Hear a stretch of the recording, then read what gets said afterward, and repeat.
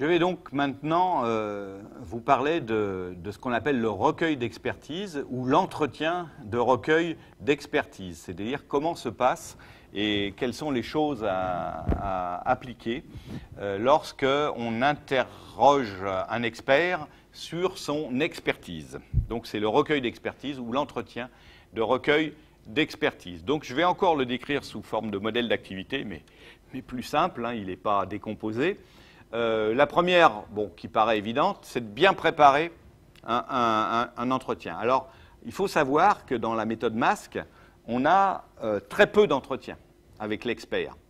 Euh, ça tourne autour de 5 en général.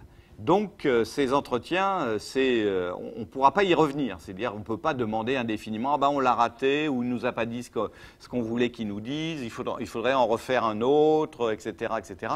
Ça, ce n'est pas possible. Donc on sait qu'on a un nombre limité d'entretiens. Et il, faut il, faut vraiment créer cette valeur ajoutée pendant ces entretiens. Après, on n'a plus de chance de le faire. Donc euh, ça demande euh, beaucoup de savoir-faire d'entretien et euh, pas mal de préparation et de travail entre les différents entretiens. Hein, en général, pour un entretien qui dure entre 3 et 4 heures, on compte carrément deux jours de travail à temps plein. Entre un et deux jours, ça dépend euh, de l'expertise et ça dépend du savoir-faire, et puis ça dépend aussi du domaine. Hein. Il, y a, des domaines où c'est très difficile de, modéliser avec un expert. Euh, bon, il y a des difficultés. Euh, chaque expert est différent. il y en a qui sont plus ou moins structurés, d'autres qui sont plus ou moins, qui ont plus ou moins velléitaires. et puis les sujets aussi, ça dépend des sujets. Il y a des sujets extrêmement compliqués, surtout quand quand l'intervieweur, euh, l'ingénieur de la connaissance est complètement, il est toujours en dehors du domaine, mais des fois très très en dehors, ça devient parfois difficile. Mais euh, il faut savoir qu'on peut garantir un nombre limité d'entretiens avec une valeur ajoutée du livre de connaissances. Donc la préparation est quelque chose d'important. Euh, Déjà, euh, il faut montrer à l'expert et aux autres qu'est-ce que c'est qu'un livre de connaissances, qu'est-ce qu'on va leur poser la question. Donc ça, ça peut se faire pendant l'entretien de cadrage ou euh, éventuellement euh, des discussions préalables avec l'expert. Et on lui demande aussi de rassembler des, documents. Donc ça, en général, ce n'est pas une demande qu'on a besoin, sur laquelle on a besoin d'insister ou même de la faire, parce que lors des entretiens, je ne sais pas pourquoi, mais les experts arrivent toujours avec une documentation mais immense. Et euh, ils nous disent, voilà, c'est ça. Alors, euh, bon, ils dire oui, mais nous, on n'a que 5 entretiens, on n'a que 5 heures à passer, enfin, 5, 5 fois 3 heures à passer ensemble, donc euh, je ne vais pas pouvoir lire, et puis il faut que vous m'expliquiez tout ce qu'il y a là-dedans. Donc, en général, les documents, euh, ce n'est pas difficile de les demander à l'expert, il, est même, c'est même surabondant. Par contre, des fois, on lui en demande d'autres, par exemple des films ou, des, présentations, beaucoup de présentations, s'il a donné des cours ou des choses comme ça. Et donc, il faut qu'il rassemble un certain nombre de documents utiles, et c'est pas vous, enfin c'est pas l'ingénieur de la connaissance qui pourra, qui, pourra le faire. Hein. Euh, ensuite, sur les thèmes à aborder. Alors c'est pour ça qu'il est très important euh, de faire une belle réunion de cadrage parce que ça donne dans les chapitres les différents thèmes à aborder. Alors ça peut se modifier au cours des entretiens, donc il faut y réfléchir et savoir quel thème on va aborder. Puis ensuite, bien sûr, il y a les conditions favorables euh, à l'entretien. C'est-à-dire que, premièrement, il ne faut jamais le faire dans son bureau parce qu'il est toujours dérangé. Euh, par téléphone ou des choses comme ça. Il faut, bon, si c'est un peu excentré, c'est mieux. Euh, il faut avoir un tableau blanc. Euh, on écrit beaucoup. Hein, et puis en plus, quand on a un, tableau en papier, moi, j'aime bien reprendre les, les, les, papiers. Je les emmène à la maison. C'est une source précieuse d'informations. Euh, il faut avoir euh, un matériel d'enregistrement. Alors ça peut se faire sur le, PC ou ça peut se faire sur, le, sur un magnétophone, mais il faut avoir des piles. Enfin bon, on peut mes collègues et moi, qui avons fait beaucoup, beaucoup de, livres de connaissances, on peut vous raconter plein de choses sur euh, le fait qu'on euh, n'avait pas toujours des conditions favorables. Euh, donc ça peut se faire aussi sur, papier, avec des formats A6, etc., parce qu'il faut toujours crayonner, etc.. Donc il faut se préparer à, avoir des bonnes conditions d'entretien. Ensuite, on va faire le recueil. Alors le recueil, c'est donc, on a trois heures, voire quatre, euh, face à face euh, avec l'expert. Alors, et on va euh, chercher à modéliser sa connaissance. On va avoir des ébauches de modèles à la sortie de l'entretien, beaucoup de notes, on va avoir l'enregistrement complet de l'entretien et puis beaucoup de documentation qui nous aura plus ou moins expliqué quel rapport cette documentation a avec ce qu'on vient de dire. Alors, l'entretien est enregistré. Il faut demander, ça, ça fait partie des chartes d'entretien, il faut demander l'accord de l'expert, mais euh, bon, dans notre expérience, euh, il n'y a jamais de problème. Et euh, en plus, au bout de à peu près deux minutes, il oublie qu'il a que c'est enregistré. Puis il dit Ah, tiens, vous êtes en train d'enregistrer. mais des fois, il s'en souvient parce qu'il dit Bon, si vous pouviez arrêter, là, je vais vous dire quelque chose qui doit rester entre nous. Donc on arrête l'entretien, puis on l'enregistrement et on reprend après. C'est extrêmement rare, ça m'est arrivé une fois, qu'un expert refuse d'être enregistré, parce que, bon, pour des tas de raisons, ça lui appartient. Et là, je peux vous dire que c'est compliqué, parce que euh, d'abord, on prend beaucoup plus de notes, euh, et puis on n'est pas sûr de se souvenir de tout. Quoi. Enfin, comme ça. Alors, euh, l'idée, c'est quand même de l'écouter. Hein. Je veux dire, c'est pas nous qui parlons, d'ailleurs. Hein. Sur le sujet, en général, on n'a rien à dire. En tant qu'ingénieur de la connaissance, il faut l'écouter il faut lui proposer des modèles de connaissances. Donc il a vu à peu près ce que c'est que des modèles de connaissances. Et puis dès qu'on sent qu'on va vers un modèle d'activité, un modèle de phénomène, on lui dit, bah, tiens, on pourrait l'écrire comme ça. Ou même, on lui dit même pas, on commence à dessiner le modèle, et puis on lui demande de, de, de remplir les cases, en fait. Et en général, ça marche assez bien, parce que moi, j'ai l'habitude de dire qu'un ingénieur de la connaissance, c'est quelqu'un qui sait écrire mais qui ne sait pas lire. Et euh, l'expert, lui, euh, il, a, il, sait, il connaît les, mots, mais il pas, euh, sait pas comment l'écrire. Donc c'est une interaction qui fait qu'il faut lui proposer des modèles de connaissances, bon pas nécessairement dire stop, je vais vous expliquer un modèle, mais se dire commencer un modèle et puis éventuellement d'ailleurs on change en cours de route de modèle et écrire des bribes comme ça. Donc il faut le questionner, le relancer, le reformuler, et surtout lui, faire comprendre, parce que ça, ça fait partie de l'interaction, lui faire comprendre qu'on comprend ce qu'il dit, même si ce n'est pas toujours vrai. Des fois, on ne comprend rien du tout, mais comme on sait le réécrire à peu près, euh, D'ailleurs, il nous dit mais non, c'est pas comme ça qu'il faut écrire. Ou des fois même, il prend le, il prend le marqueur, il va au tableau, il dit non non, je vais vous faire le modèle moi-même. Ça, enfin, tout peut arriver. Hein. Mais il faut qu'on on soit euh, dans une euh, attitude de compréhension. Donc, euh, si on ne comprend pas, du moins s'il y a vraiment des choses qui sont obscures, il faut lui redemander, dire c'est bien ça que vous voulez dire, etc. Le relancer, reformuler surtout, puisqu'on a des modèles, donc c'est de la reformulation. on pense que le modèle, ça va être ça, donc on va reformuler dans ce qu'il dit dans le langage du modèle, dans le schéma du modèle. Et euh, faut pas oublier de prendre des notes aussi. C'est complémentaire de, l'entretien. Et en plus, euh, souvent, euh, l'expert regarde les notes et, les corrige, alors que ce qu'il dit, euh, il l'a oublié deux minutes après l'avoir dit. Tandis que les notes, il les voit. Donc, et puis ne pas oublier, bien sûr, hein, de recueillir des informations complémentaires. Tiens, vous avez un, un schéma là-dessus, tiens, vous avez euh, euh, un document, etc. etc. Donc euh, voilà, ça c'est la phase de recueil. Et vous voyez dans le modèle d'activité, hein, on peut mettre dans des cartouches jaunes comme ça toutes les remarques utiles qui peuvent être utiles pour, pour refaire cette phase. Donc la phase de recueil. Alors une fois que la phase de recueil est faite, on va faire ce qu'on appelle la phase de rédaction où là, euh, ben, l'ingénieur de la connaissance, l'intervieweur, va se retrouver tout seul avec lui-même, chez lui, et euh, il va falloir qu'il rédige quelque chose qui soit euh, cohérent, structuré et sous forme de modèle de livre de connaissances. Donc, première chose à faire, c'est réécouter intégralement l'entretien.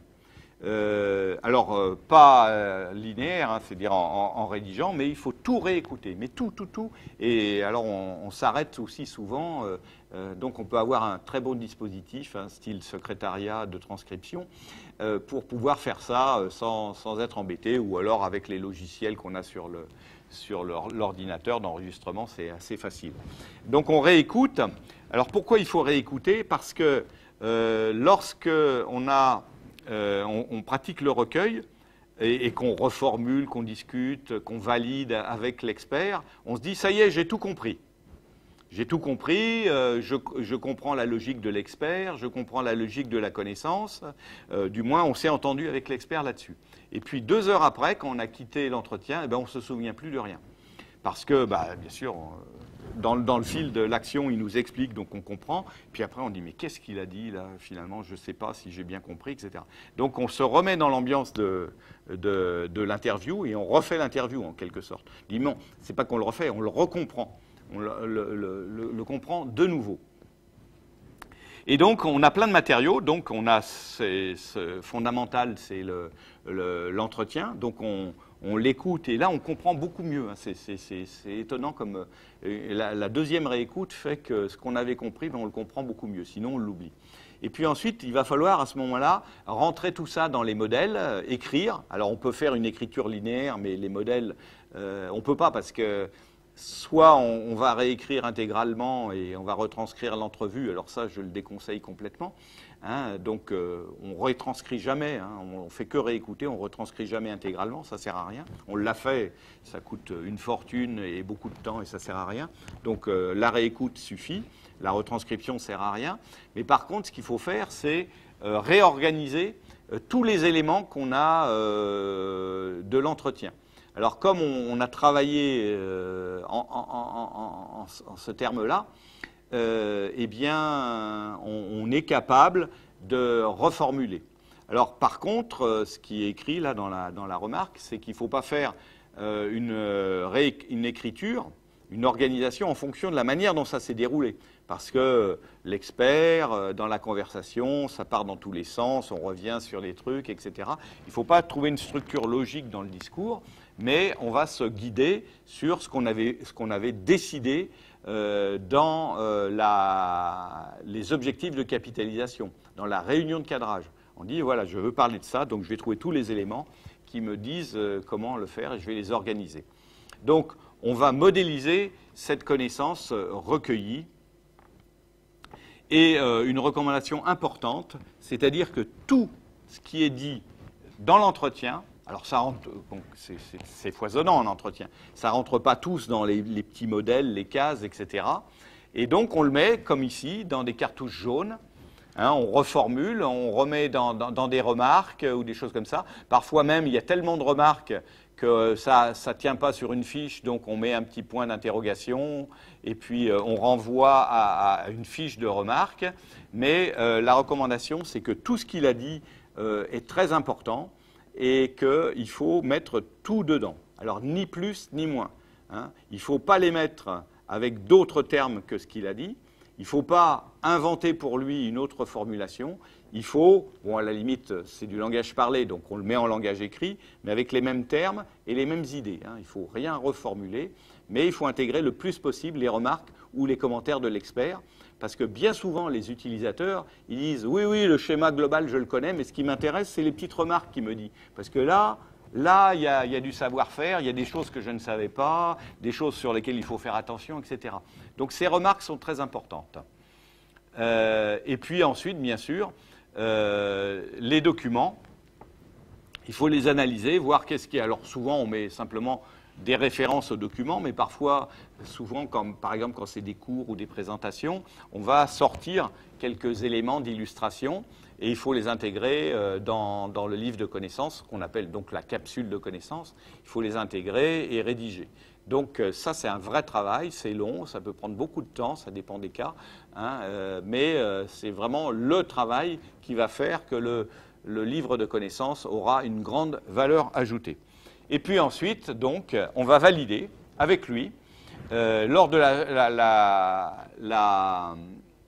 euh, réunion suivante, euh, on, va, on lui envoie hein, ce qu'on a rédigé entre deux réunions. Alors il le lit ou il ne le lit pas, ça dépend. il y a des gens qui... Alors, en général, s'il ne l'a pas lu, ben on, relit, mais la validation est assez rapide parce que finalement, on a retranscrit fidèlement ce qu'il a dit. Alors avec les mêmes mots, et puis avec la même structure de pensée. C'est ça l'intérêt des modèles.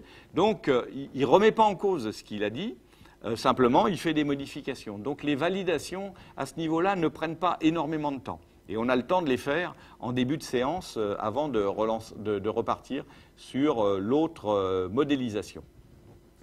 Donc voilà un petit peu les, les éléments importants à connaître sur le recueil d'expertise. Je voudrais dire que quand même, il y a quelque chose d'extrêmement important de la part du modélisateur, de l'intervieweur ou de l'ingénieur de la connaissance, appelez-le comme vous voulez. C'est une posture assez particulière qui est une posture empathique, donc il faut vraiment écouter l'expert, être avec lui, euh, lui poser des questions, montrer qu'on comprend, lui demander si on ne comprend pas, donc avoir une, attitude très empathique, et on a l'impression d'être complètement dans ce qu'il nous raconte. Euh, ben, ce n'est pas vrai. Euh, c'est ce qu'on appelle une posture in and out, à l'extérieur et à l'intérieur, c'est-à-dire que d'un côté, on a l'impression d'être complètement dans, dans le, la relation euh, de discussion avec l'expert, mais d'un autre côté, on a un petit, un petit truc euh, qui nous fait prendre du recul tout le temps, qui tourne tout le temps, en disant j'ai un objectif de capitalisation, donc c'est ce qui a, donné le, cadrage, et puis j'ai des modèles à remplir, donc je sais ce que j'attends de l'expert, euh, et je vais essayer de, lui faire, de le faire parler ou de discuter, d'orienter la discussion pour qu'il me donne des éléments qui me permettront de remplir mes modèles. Et ça, ce n'est pas évident. Hein. C'est une attitude difficile pour euh, le consultant, pour l'intervieweur, euh, ce qu'on appelle euh, donc en dehors et en dedans. Hein. donc ça, je voudrais vraiment mettre le point là-dessus. L'entretien de recueil d'expertise, donc c'est toutes ces phases-là, mais c'est aussi ce savoir-être, cette posture qu'a l'intervieweur, le, consultant, enfin l'ingénieur de la connaissance, sachant qu'en face de lui, il a des experts qui, ont, qui sont parfois très, très, très variés. Hein. Il y en a qui, qui s'étendent, qui, qui, racontent leur vie. Il y en a d'autres qui sont très formels. Il y en a même des fois des gens qui sont hostiles. C'est assez rare, mais ça, ça peut arriver. Euh, donc, euh, cette attitude in and out est, très importante. Alors, pour, euh, je, vais, finir par les facteurs clés de succès. Comment on peut voir qu'un recueil d'expertise a réussi? La première chose, et ça on y reviendra dans les modules suivants, c'est euh, la satisfaction de l'expert. Ce qu'on appelle, nous, l'effet miroir, c'est-à-dire que euh, nous, dit des choses. Alors lui, il s'exprime librement, hein, il s'exprime librement, il nous raconte sa vie, et puis à chaque restitution, on lui donne un truc très formalisé sous forme de modèle, avec des jolis dessins, des, liens hypertextes, etc.